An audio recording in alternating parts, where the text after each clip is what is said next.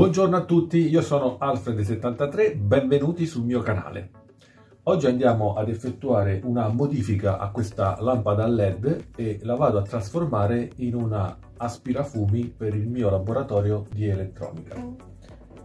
In questo modo avrò sempre a disposizione una fonte luminosa e un aspirafumi sul mio laboratorio. Vediamo insieme come procedere. Beh, anzitutto ci servirà la lampada LED. La sola lampada funziona 5 volte e assorbe 0,7 A.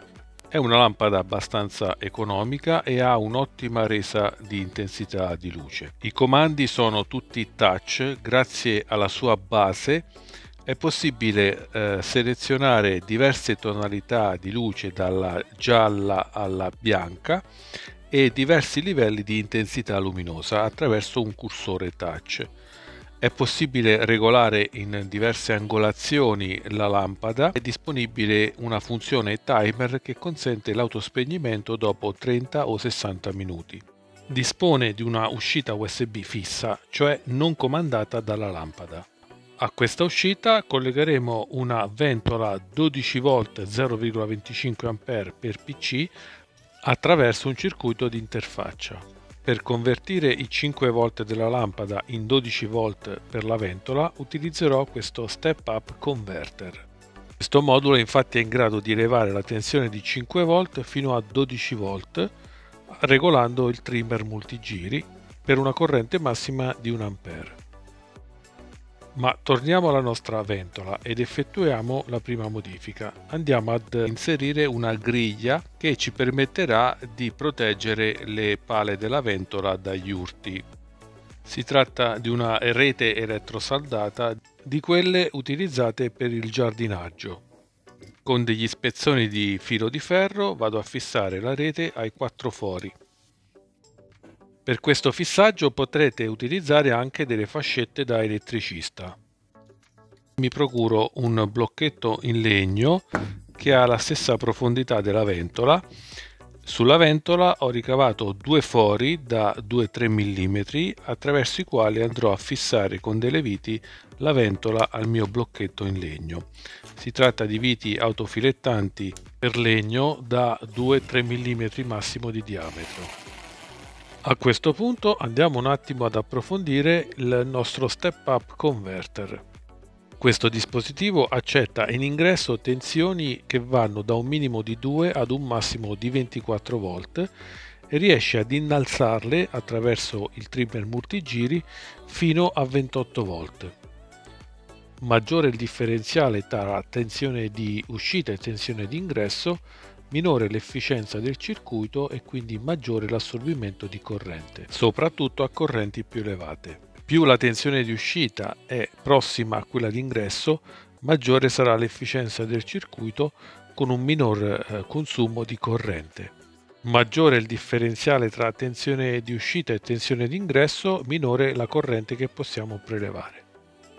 Osservando lo schema elettrico, il cuore di questi step-up converter è l'integrato MT3608. Questo circuito genera delle onde quadre che vengono raddrizzate dal diodo Schottky e livellate dal condensatore di filtro per generare la maggiore tensione in uscita. L'efficienza massima che è possibile raggiungere è pari al 93%, ma ripeto soltanto quando il differenziale tra la tensione di ingresso e di uscita è al massimo di 3 volt. Man mano che si sale in questo differenziale l'efficienza diminuisce ed aumenterà anche l'assorbimento di corrente. Con del biadesivo vado a fissare il converter sul retro del blocchetto in legno. Anzitutto andiamo a regolare il voltaggio di uscita. Collego il mio voltometro sull'uscita di questo modulo alimento a 5 volt il modulo in questo momento abbiamo sull'uscita a 9 volt.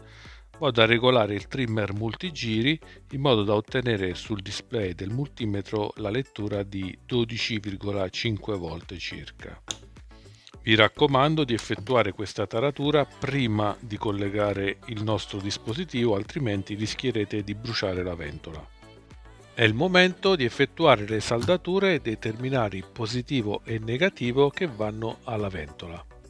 e a questo punto il nostro circuito è pronto per essere collegato alla lampada. Vi ricordo che la presa di uscita di questa lampada è perennemente collegata e quindi non è comandata in alcun modo dall'accensione della lampada. La semplice connessione di un'alimentazione 5 volt farà quindi accendere la nostra ventola.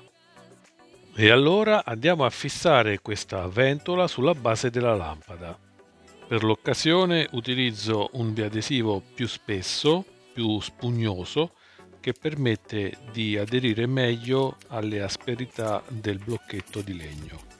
Se vi sta piacendo questo video, questo è il momento giusto per mettere un bel like ed iscriversi al canale. Fissata la ventola e verificata la sua solidità e l'utilizzo anche dei comandi, vado a collegare questo cortissimo cavo da USB a micro USB che alimenterà il mio circuito convertitore di tensione. Poiché la lampada non ha in dotazione un suo alimentatore USB, mi procuro questo alimentatore da 33 watt in grado di fornire una corrente massima di 3 A. Questo alimentatore USB sarà collegato alla stessa presa di corrente che comanda i miei vari saldatori.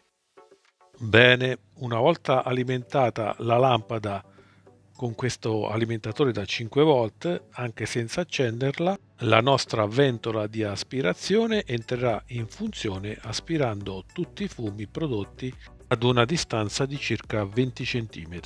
In questo modo non solo ho ottenuto una valida fonte di illuminazione per i miei circuiti elettronici sempre troppo piccoli, ma anche un aspirafumo molto potente per il mio piano di lavoro con un'ottima illuminazione.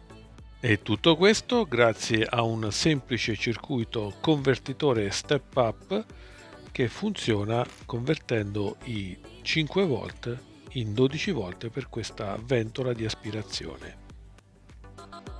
Bene amici, anche per oggi è tutto, se il video vi è piaciuto mi raccomando pollice in su e come al solito iscrivetevi al canale e ci vediamo alla prossima volta.